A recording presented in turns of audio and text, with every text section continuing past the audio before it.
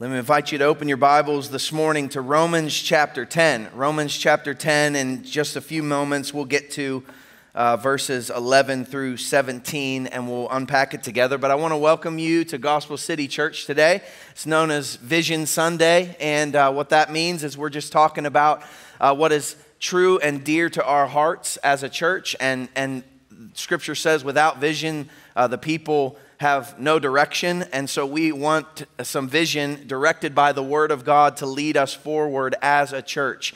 And so today is a, a, momentous day. It's a celebratory day. We run a new fiscal year that starts in September every year. And so this is kind of a reset moment uh, to get our eyes on what Christ has called us to and where we're going in the future. But in 2023, uh, we changed our mission statement to be love God, love people, and make disciples of all nations. And so we are a people on a journey uh, to, to uh, have full engagement, whole person engagement caught up in the adoration of Jesus Christ, the Lamb of God who was slain. And we're focusing on our discipleship, which helps us become the people who will love the world like Jesus loves the world. Let me just clarify on that mission statement. I realize that that is the journey that every single believer should be on. I realize that every person in this room is at different stages in their walk with Jesus. I also realize that the mission statement is not all that creative. Uh, it's not um, uh, that spectacular. It's merely the words that Jesus said, and that's the point. Uh, I want us to be a church who knows exactly what our Savior has called us to, and we're living in it. We're acting it out. We're, we're believing it and being formed by it daily. But I'm preaching congregationally this morning. I know that we're at all different parts of the journey, but we are stronger together than we are apart. And the gathered body who is unified in purpose and aim will have a more profound impact when they're scattered in the world. So it was at the vision gathering last year in August. I believe we had like an afternoon where some members came back and joined us for some worship and just some teaching and some time looking forward. I said that we are aiming to be four kinds of things a worshiping church, a family church, an equipping church, and a missional church. So, worshiping church, we're committed to the bold adoration of Jesus Christ, vertical, fervent worship, loving Him with our whole being. And then since 2020, we've been talking about what it means to be a family church, really trying to get this body life thing right uh, God is, is uh, glorified when He saves an individual, but He is doing something so beyond you and me. He's, he's building up a body that will become His holy temple in eternity, and Jesus Christ is the head. And so He's joined us together. We're many different parts, many different gifts, and yet there should be unity among us. And then we said we want to be an equipping church. We talk about disciples of Jesus at our church glorify God and they gather together and they grow in Christ and in maturity so that they could go. And then we also said we have work to do in becoming a missional church. Since 2021, we've really been focusing on what it means to be an equipping church, equipping the saints. Said differently, uh, we've been working on our proactive discipleship opportunities within our body. So you've seen over the last several years some different classes pop up core scripture, core doctrine. We, we added a layer two last year called Academy that's just taking believers into a deeper relationship and understanding with Jesus Christ. Those are to help form our beliefs in the Lord. Studies help us understand how to study the Bible. And so every Wednesday, whenever we gather uh, at this church throughout the fall and the spring, uh, the men gather in the morning, the women gather throughout the day, our students gather at night, and they're opening their Bibles. We have small group components to everything that we do. And there are small groups meeting all around the city because we believe that believers are stronger together. Uh, you need to be in intentionally vulnerable situa- or uh, re- small group situations where you can open up and where you can say the things that you're struggling with, and so that you can know that you're not alone in following Jesus. Our kids are studying the same passages that we study in here on Sundays. Our students and young adults are being challenged in God's Word. They're discussing God's Word and they're growing in community with one another. So I hope that you're taking part in some aspect of the body life that's geared toward helping you be equipped as a disciple. I hope that you're growing in Christ here at this church. Everything I just mentioned is a foundation that's been built for equipping believers. We're going upwards for more mature believers, and I'm excited about some things that we're working on that will go downwards to get really practical and applicational for the saints in this church who are struggling maybe in different areas or just walking through different seasons of growth. That's everything that we're doing on the regular in this building. And I'm excited about being an equipping church but if we stop there, we are in great danger of missing the point to which Christ has called us. See, Christ hasn't called us to merely be smarter people or, or more knowledgeable people or safer people or more comfortable people or more entertained people. He certainly hasn't called Christians to be like an island cut off from the rest of the world. And, and as our church gets bigger, it could be really easy, right, to just find all of your community here and, and, be safe within these doors and be here every single day and every single night, and you're like, I'm good. I don't need what's going on out there. But we could say that when people, uh, when the people of God cease to live on mission outside of its own walls, the church can become institutionalized and it can even slowly decay and eventually die. If you look at the landscape of churches in America, what some would call the megachurch movements, you could see that eventually the vision runs dry if you're only focused on yourself. Eventually, there's, there's not a lot of work to do inside the building if you're only focused on butts in the seats. And that's not the kind of church that I want Gospel City to be, that our elders want Gospel City to be, that our pastors pray that we would be.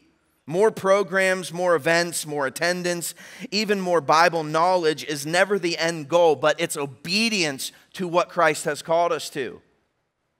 We want to be doers of the Word of God. But here, understand how this goes together, why we've been focusing on being an equipping church. The church that is properly equipped will be a missional church. So that's why this year, as we step into 2024, 2025, the theme, if you will, for the year is going to be always on mission. Always on mission. Maybe you saw it out in the lobby on the big missions center wall that we kind of are working on and creating. And I have it on my shirt here today. You can get a shirt out there if you want. But always on mission is not just some pithy statement, okay? That, that I, I will make us feel better as a church and uh, always on mission i hope is not just a theme for our church that dies after one years i'm praying that always on mission becomes a centerpiece of visibility for what god is accomplishing through us in the world I pray that it would be a centerpiece of visibility for more opportunities to love our city and our world as the people of God, and for more stories to come out of people who are being sent to the nations from this body. I want you to get a vision with me of what if God wanted to call you to the mission field? What if God wanted to use you in a way beyond what you ever thought He could do? What if there was an avenue to point you in the direction so that you could go into all the world and make disciples of all nations. Always on mission is something I'm praying will continue to form us as the priesthood of believers who gather at Gospel City. We talk about disciples who go and who live sent, but always on mission is an attempt to close the gap between the minister and, and the regular congregants who are coming in the seat. Uh, you know, I, want to live my life on mission. And I've been convicted, even getting to this place today, that there are different places in my life that I need to open my hands and say, Here I am, Lord, send me. There are different things that the Lord wants to do with me in the position He's put me in so that I could live my life on mission and not just grow stagnant, not just grow into the mundane, not just grow standing still and, and, and waiting around in my faith. But the Lord wants to do that in your life.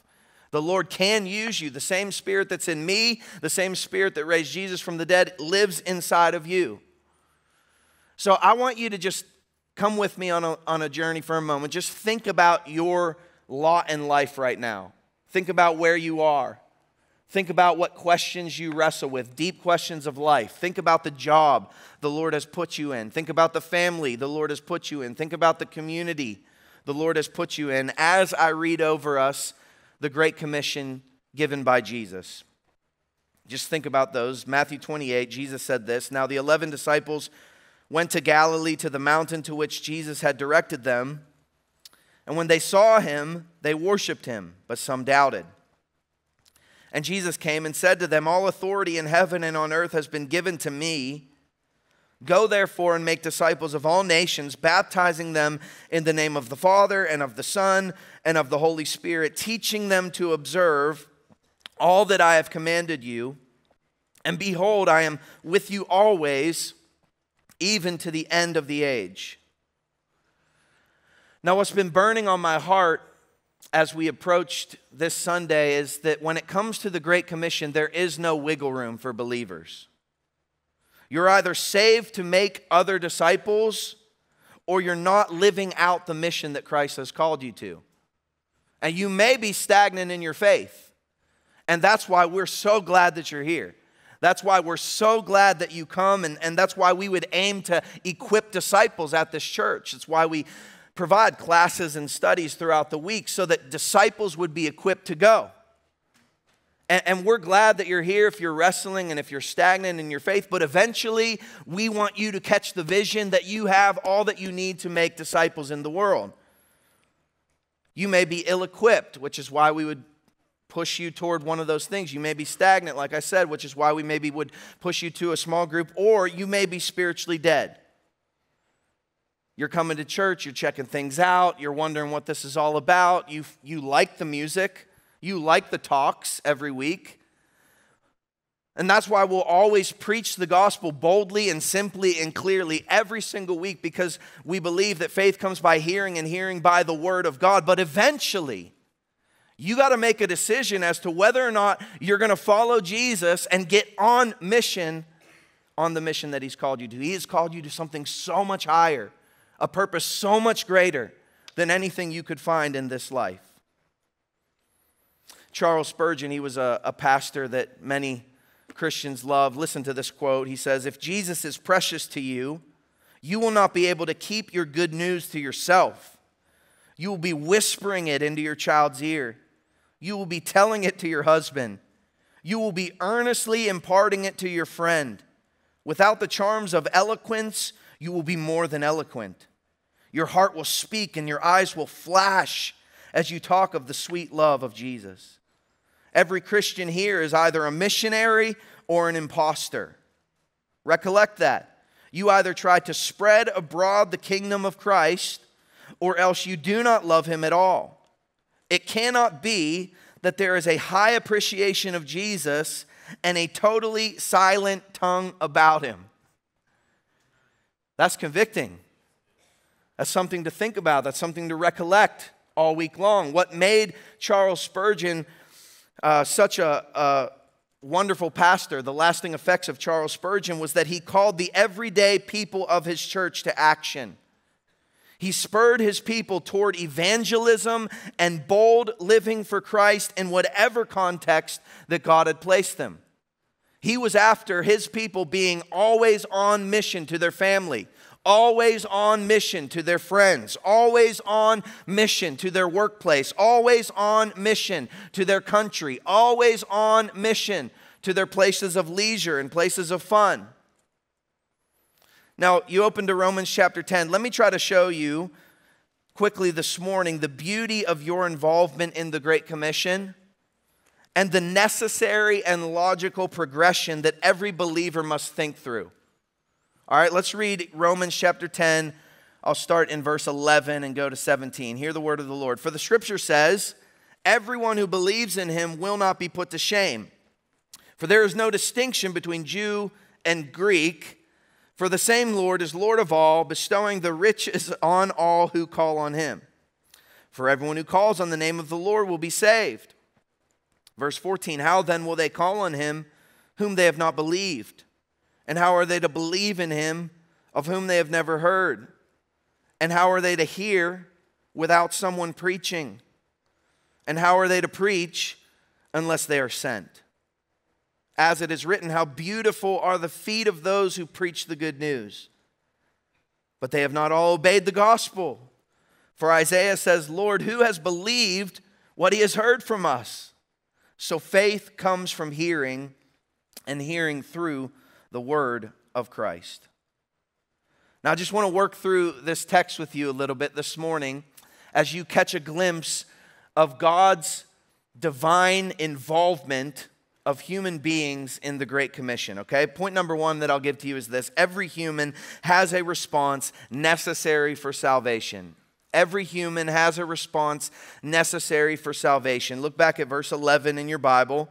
Says, For the scripture says, and we care about what the scripture says as believers because we believe it's the God breathed words that He breathed out, the breathed out words of God. It's profitable for teaching and reproof and correction and training in righteousness. God wrote a book, and we believe it's been preserved for our good. So Scripture says everyone who believes in Him, Jesus, will not be put to shame. So, first thing, if we take the inverse of that, everyone who does not believe in Jesus will be put to shame. Jesus said in Matthew chapter 7 13, For the gate is wide and the way is easy that leads to destruction, and those who enter by it are many. So the reality of the majority of mankind is that they are heading towards shame and destruction. Just get a picture of the world with me. There are 8.2 billion people on planet Earth. According to the Joshua Project, there are 17,446 unique people groups in the world. 7,391 of them are considered unreached with the gospel. That means they don't have a Bible in their language, they don't have someone speaking the precious gospel of Jesus Christ to them like I'm doing to you today. They may have never even heard of the person Jesus. 3.4 billion people live in unreached people groups with little or no access to the gospel of Jesus Christ. 3.4 billion out of 8.2 billion, and then let's just take the rest of the population, the rest of the reached people. The majority of people have not surrendered their lives to the Lordship of Jesus Christ. So, Pew Research says that in America, we're rapidly declining with those who claim to be Christian and we're rapidly increasing with those who claim to be religiously unaffiliated. It's kind of good news for the believer because as some people deny the faith, we will see those who have actually counted the cost to follow Jesus Christ, but really a sobering statistic. Not only that, but those who claim to be Christian, the number gets smaller and smaller when it pertains to what we would call first tier doctrinal issues. So you start throwing out doctrinal issues like Is Jesus the only way to eternal life with God? We would say yes. Many would say no.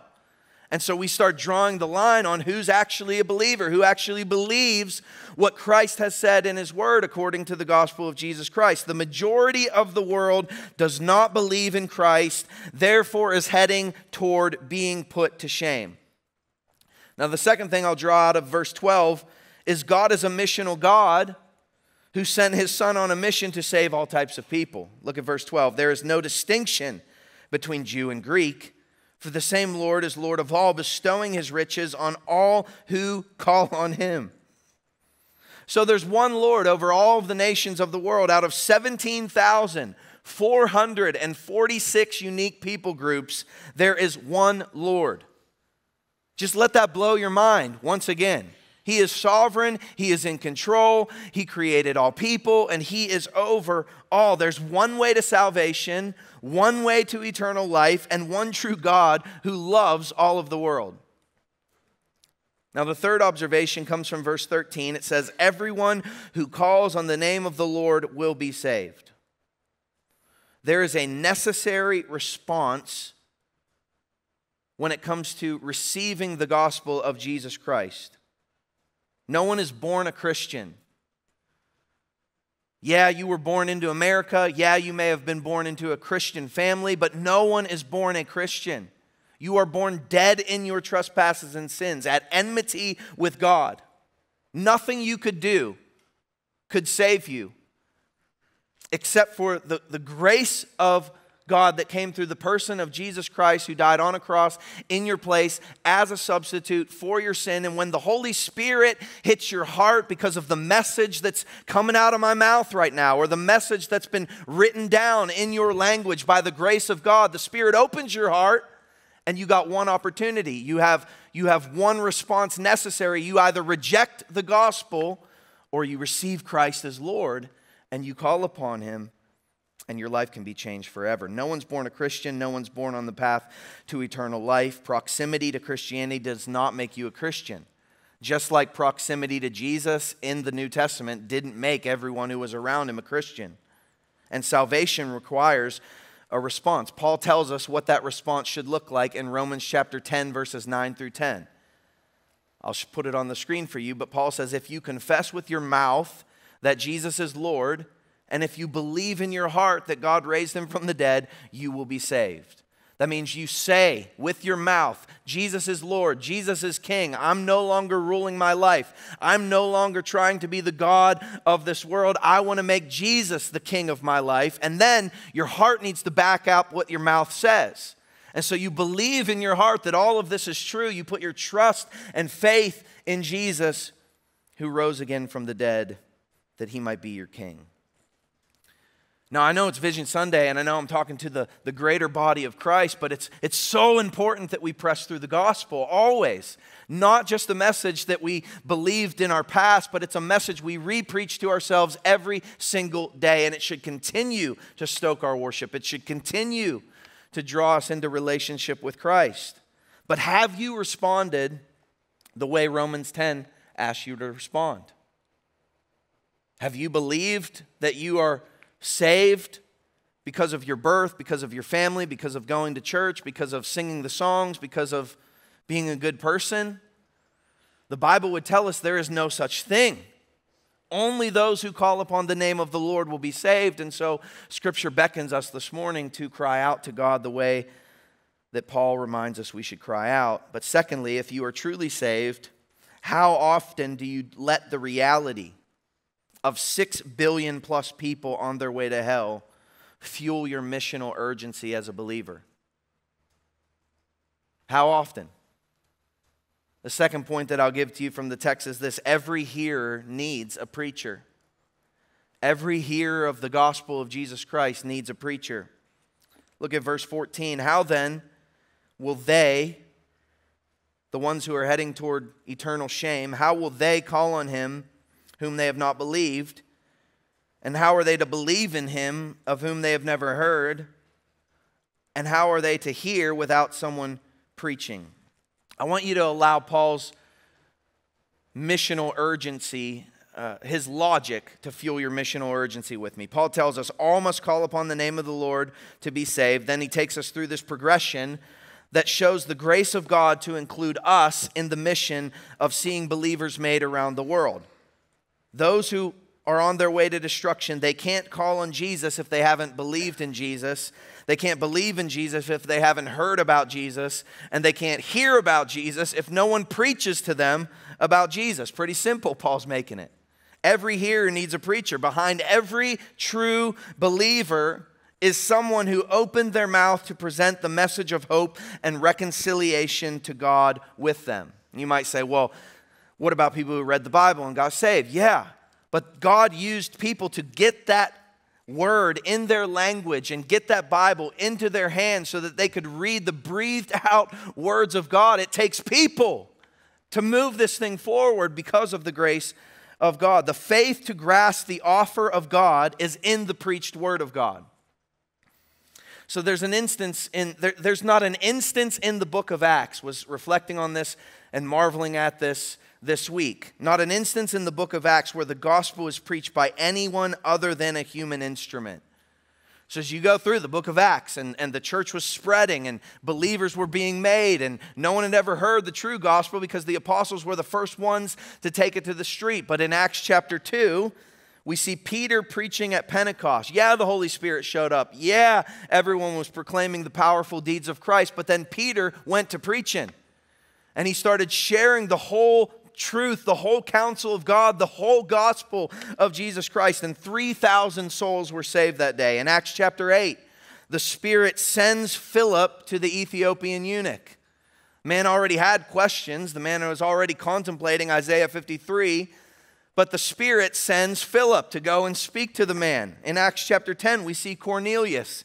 He's a man who seemed upright. He was God fearing. He was of the Italian cohort. He was generous. He was already giving to the God of the Jews and praying regularly to the God of the Jews. But an angel comes and appears to Cornelius. Don't you think it would be just smart on God's part to have angels save humans? But he doesn't do that. An angel shows up to Cornelius, and an angel says, Go and find a guy named Peter. He's got a message that he wants to deliver to you, that he needs to deliver to you. And at the same time, Peter's like having a wild man's dream about food and hunting and all this stuff. And, and, and, the Spirit says to him, You need to go a day's journey to a Gentile man named Cornelius. And so Peter goes to Cornelius' house and he crosses over the doorstep of a Gentile. And Peter preaches the whole gospel to Cornelius. This man seems as if he's following God, but Peter doesn't treat him that way. Peter doesn't come in and say, All the things you've been doing are right things. We are brothers in Christ. No, he goes and treats him as an unbeliever and he speaks the whole gospel. He says that you crucified Jesus on a cross, that Jesus died in our place for our sins, and Jesus rose again from the dead so that you could be saved. And Cornelius and his whole household were saved that day. God's powerful enough to do it on his own. God's certainly powerful enough to do it through angels, but God, in His grace, has decided to include you in His plan for salvation all around the world. One missionary has said the gospel means good news, but technically it can only be good news if it gets to someone in time. So, how does the gospel get to somebody in time? Through the faithful saints who live always on mission until Christ comes again. And what I want you to hear in that passage, that verse, how will they hear without someone preaching? The word preaching in Romans chapter 10 it doesn't mean a professional behind a pulpit, and it doesn't mean someone who's got their seminary degree or their master's of divinity. It doesn't mean an eloquent speaker or presenter.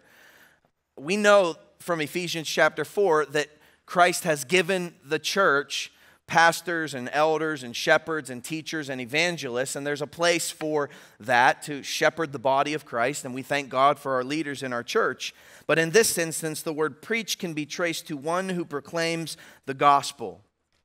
If you look at verse 15, where Paul quotes from Isaiah, he says, How beautiful are the feet of those who preach. There's the word, the good news. The, the Greek word is evangelizo, and it means tell of the good news, speak of the good news. That word can even be translated to gossip the good news. I love that. I thought about that this week. Some of y'all could like maybe you would raise your hand and be like, I'm good at gossiping.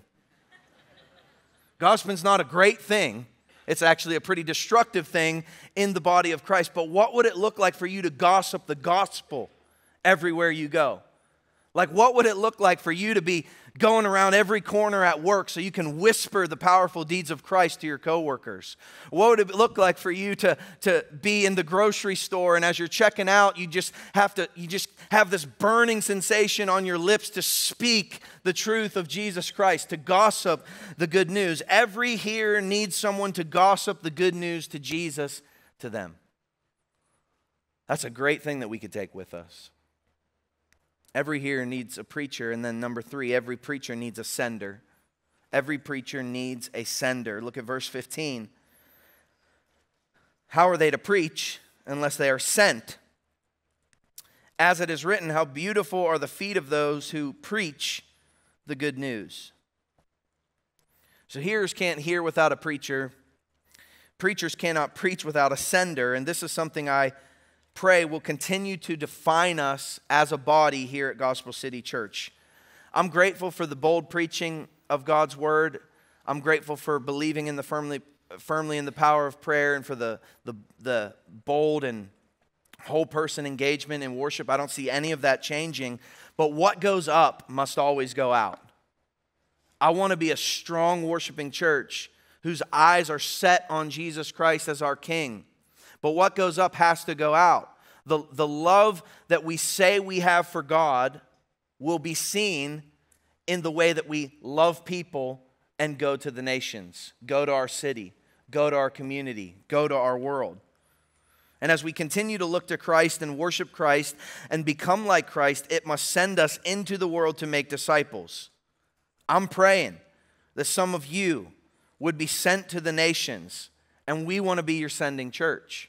I'm praying that we would grow as Ascending church. We have partnerships that we're growing and working on so that we could become and be Ascending church, so that we could get people onto the mission field, so that we could plant more churches, so that we could see young adults rise up and get a burning for the nations, get a burning for the other places in the world that haven't heard the gospel. I love that you're here. I love that you come here. I love that you love to be here. But man, I would love to kick you out of here and get you out on the streets proclaiming the gospel of Jesus Christ. Now, as Paul's writing this in verse 15, he's speaking of himself as the preacher and Christ as the sender. Okay?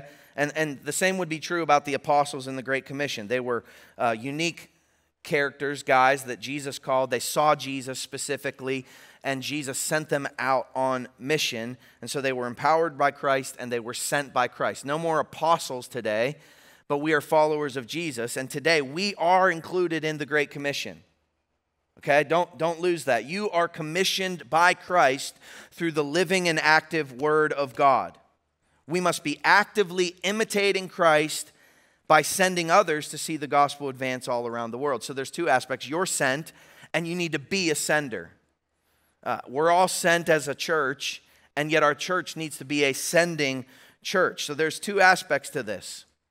Let's apply it to our lives. Every believer is already sent by Christ. Therefore, you need to live sent wherever God has you. You hear us talk about living sent, but like I said, I'm trying to close the gap on the wiggle room. I think sometimes we could come to church and we could say, boy, I love, I, yeah, I'm a, I'm a living sent Christian because you have proximity to somebody in this church who is really good at that. And I want you to see that the Spirit of God wants to make you effective for the Great Commission. In fact, if you truly love Jesus with your heart, soul, mind, and strength, then your equipping should lead to your going. And I, I, do want to encourage us as a church. I see some of you doing this in beautiful and bold ways. I really do. Our church, our, our staff marvels at it. We don't marvel at it enough. We need to celebrate some of the ways that the body is, is living this out in our community. I see some of you using your realtor positions for the glory of God and for the good of others, and I love it. The stories are awesome. I, I hear about some of you meeting with people because of your job, but then you turn those conversations into gospel moments and gospel conversations all the time, and it kind of blows my mind. I see moms sharing Jesus consistently and patiently in their homes. And I want to commend you if you're a mom doing that because it kind of can be a thankless job and not a lot of people see what you're doing on the regular. And yet, this is you caring for your Jerusalem. Jerusalem, Judea, Samaria, to the ends of the earth. We have a job to do. You don't just leave this place and depend on the church to raise your children. You do the hard work every single day of living on mission, being always on mission in your home. Great job, moms. I hear of businesses aiming to impact people and the city for Christ, even in the midst of building a product or getting a job done. There are teachers, there are financial advisors, there are parachurch workers, and normal everyday people sharing Jesus with waitresses at grocery stores and with their neighbors. And I love every story, and I commend you for your boldness. And I want to encourage all of us to get on board and live sent because we are sent by Christ Himself. Don't think God can't use you in the job that He has you in. Don't think God can't use you because of your youthfulness. Don't think God can't use you because you're not an eloquent speaker or because you don't know everything there is to know. Go and speak the good news of Jesus. Go and gossip the gospel as somebody has done to you in your life. But the second aspect that I want to always be thinking about, I'm thinking about it for my own life, is an aspect of radical surrender. There needs to be a radical surrender piece for all of us when it comes to the Great Commission? What would it look like for you to really pray, Here I am, Lord, send me? That's what Isaiah prayed. He, he went to the throne room and he stood before the angels and he saw the Lord high and lifted up, and the train of his robe filled the temple. You know what? If I got zapped up to the throne room right now, there is no way I want to come back here. No way. I'm staying there, man. But Isaiah, what goes up goes out. And until you're done breathing, God's not done using you. And so Isaiah says, Here I am, Lord, send me. And the Lord sends him to a really hard thing, a really hard place. Not a lot of people were going to obey him. But he goes and he speaks the gospel. What might God want to do with you beyond the here and now for the sake of the gospel somewhere where it's never been preached? What might God use you for in this community if you were to surrender to that opportunity that's been knocking at your door. You maybe have some opportunities where you're like, I should get involved there.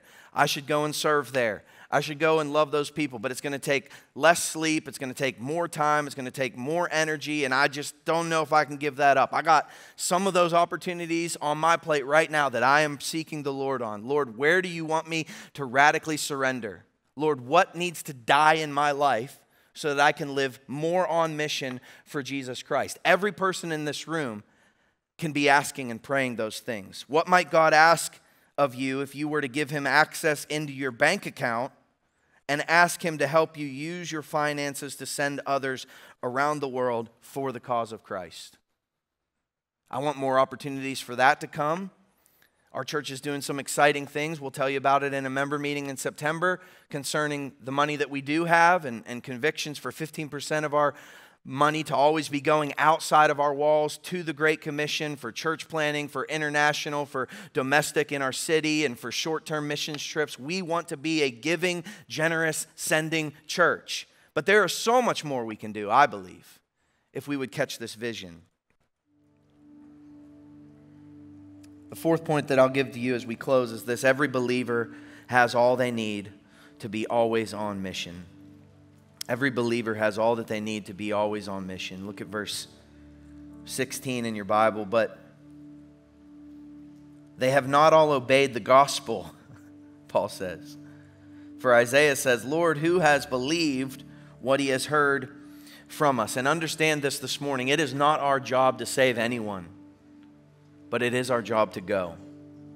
Isaiah said, Here am I, send me to the Lord. And the Lord sent him to a place where most people would reject his me- message. And yet, Isaiah's faithfulness is seen in his obedience to live sent, not in his track record to produce converts.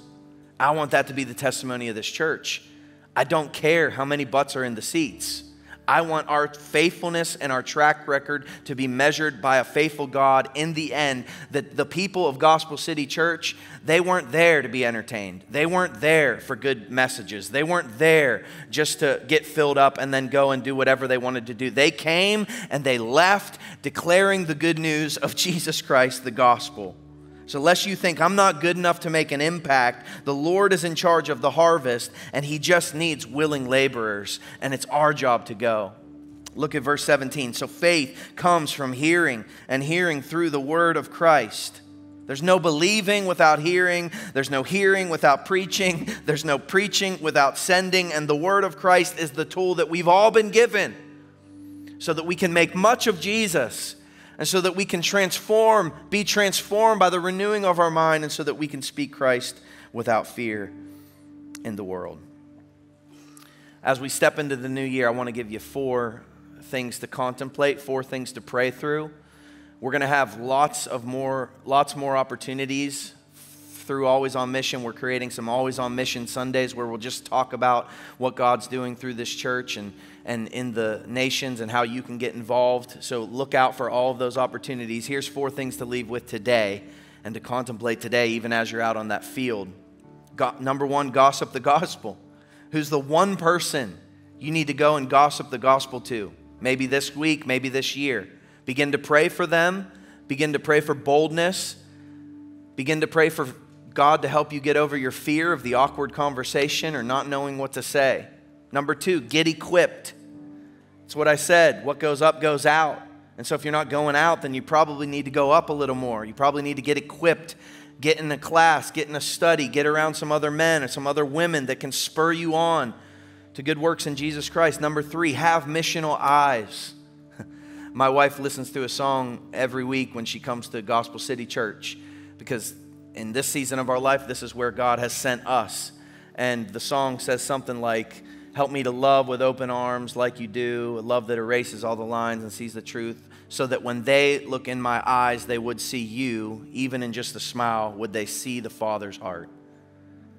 Would you ask the Lord to give you missional eyes, that everywhere you go, people would see something different about you and that they would just lean in and, and, and that it would help you to live send. And then finally, pray, Here I am, Lord, send me. Pray it for the everyday and the mundane, but also pray that the Lord would lead you into a, a deeper level of radical surrender to the Great Commission of Jesus Christ.